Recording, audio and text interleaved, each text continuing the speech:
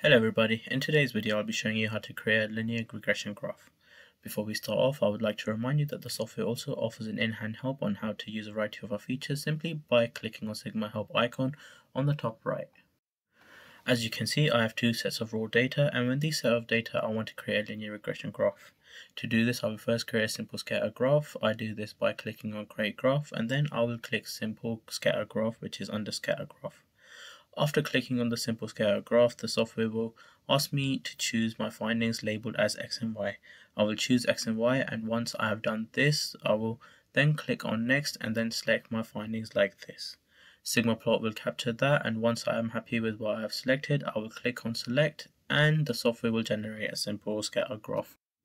Once the graph is created, I will then remove a few things from the graph as you can see. I will then right click on the graph and go to the graph properties. Once I'm there, I will then click on scaling. From there, I will then change the numbers on the start and end like you see now.